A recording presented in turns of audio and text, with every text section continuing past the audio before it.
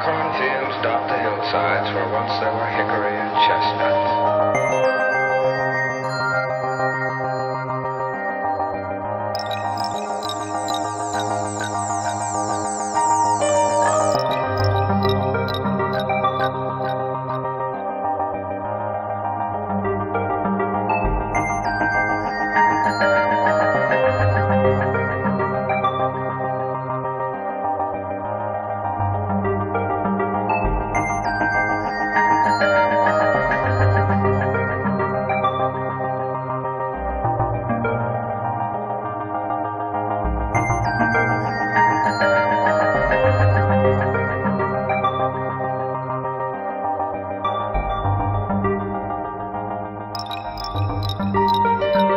the cornfields dot the hillsides where once there were hickory and chestnut.